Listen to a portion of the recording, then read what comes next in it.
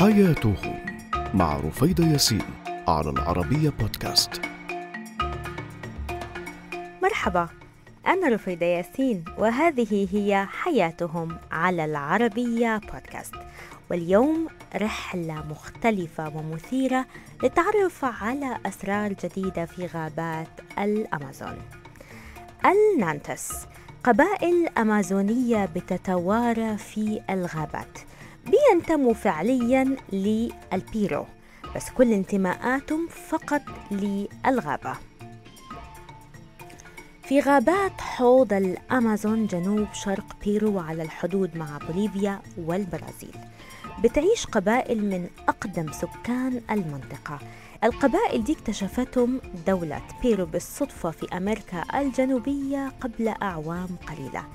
قبل هذا الاكتشاف ما كان بيعرف عنهم أي شخص أي معلومة قبائل النانتس بتتوارى في الغابات وبتعيش في مجموعات صغيرة بتتألف من سبعة إلى عشرين فرد تقريبا وما بيعيشوا في أماكن ثابتة بيتنقلوا باستمرار في الغابات بحثا عن أماكن أفضل للصيد وأراضي زراعية أكثر ثراءً. قبائل النانتس عندهم اعتقاد انه كل الكائنات الموجودة في غابات الأمازون سواء من نبات أو طيور أو حيوانات عندها أرواح. وانه الشخص الوحيد القادر على التواصل مع الأرواح دي هو من يسمى عندهم بالشامان. قبائل النانتس بيعتمدوا اعتماد كلي في حياتهم واحتياجاتهم على الغابة. كل شجرة في الغابة عندها سر واستخدام خاص في صناعة الملابس والغذاء والدواء وأي احتياج لحياتهم الخاصة بيعود استخدامه للغابة. غابات الأمازون بتعتبر مركز دوائي كبير بالنسبة لأهالي قبائل النانتس.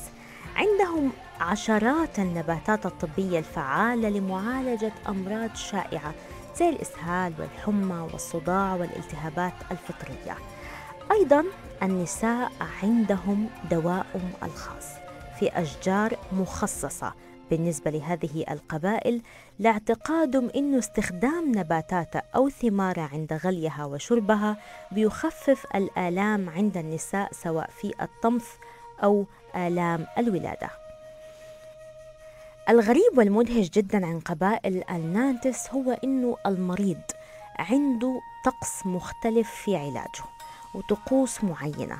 بيقوموا بغلي نباتات محددة اسمها الأشيوتي وبيعملوا مشروب بيسموه الأياهواسكا المشروب ده بيساعد حسب اعتقادهم في تحديد المرض وبيطرد الأرواح الشريرة اللي بتتسبب في أي علة في الجسد. أما في حالة عجزهم تماما عن علاج أي مريض وفي حالة الفشل في الشفاء فبيقوموا بإلقاء المريض في الغابة وتركه هناك وحده حتى الموت.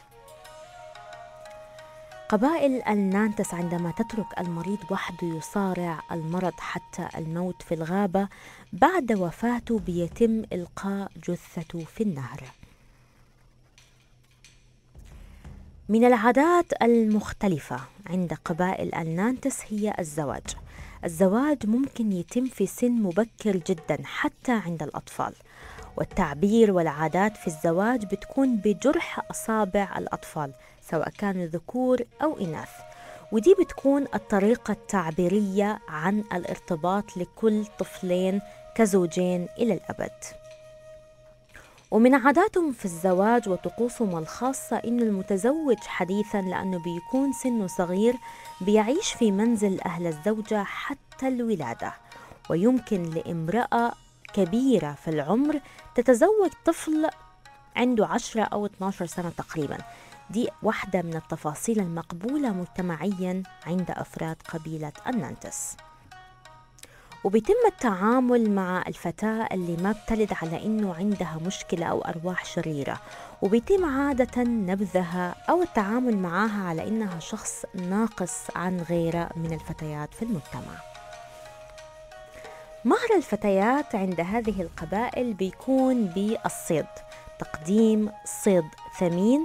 بالنسبة لهم ممكن يكون صيد سمك صيد حتى حيوانات من الغابة ولكن عند عدم إحضار هذه الفرائس أو عدم الصيد بيتم إلغاء الزيجة.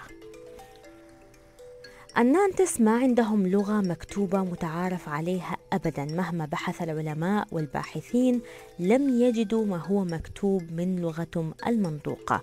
بيعتمدوا فقط على لغتهم المنطوقة والمتوارثة من الأجداد إلى الأحفاد لآلاف السنين.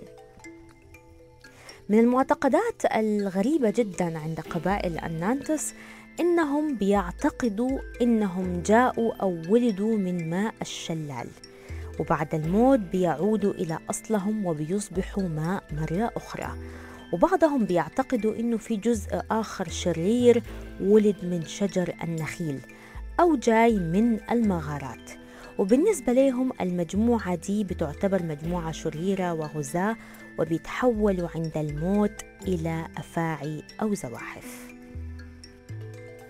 الاعتقاد السائد عند النانتس إنه المجموعات اللي ولدت من مياه الشلال هي مجموعات طيبة وهادئة وعندها أصل خير ولا تقوم بإيذاء أحد. أما من جاءت من شجر النخيل أو من جاءوا من المغارات فيعود أصلهم إلى الشر وبيفتعلوا المشاكل مع القبائل الأخرى وبيتم الاعتداء من قبلهم على الأشخاص البريئين. بيطلق على هذه الفئة من الناس كوجا باكوريس يعني القتلة ودي المجموعة اللي بيخافوا منها الناس الطيبين وبيعتبروها مصدر أذى في المجتمع. عشان كده ما بيتم دمجهم ابدا بين الأسر المتعارف عليها داخل هذه البيئة. من المعتقدات السائدة عند قبائل النانتس إنه الإنسان حياته ما بتنتهي أبدا بعد الموت ولكن في حياة أخرى. الإنسان اللي أصله طيب واللي جاء من الشلال بيعود أصله مرة أخرى إلى ماء في النهر وعند موته بيترك إلى جانب الشلال حتى يعود أصله إلى ماء. أما الشخص الآخر الشرير أو اللي بيعتبروهم من القتلة والمنبوذين أو المؤذيين بيتم إلقاء جثتهم أو رميها ليعودوا مرة أخرى على هيئة زواحف. حتى جثث الأفراد اللي هم بيعتقدوا إنهم شريرين ما بيتركوها أبدا موجودة خشية الأرواح الشريرة الموجودة فيها. مجموعات قبلية عاداتها مختلفة وغريبة وكان حاولت مجموعات محيطة بهم الدخول إلى مجتمعهم ومحاربة عادات زي زواج الأطفال ومحاربة بعض العادات اللي بتعتمد على ترك المريض حتى الموت. ولكن عدد كبير من هذه المجموعات حريصة على الحفاظ على عاداتها وتقاليدها وعدم الاحتكاك بغيرهم من القبائل خشية اندثار عاداتهم أو اختلافه ببساطة لأن هذه هي حياتهم.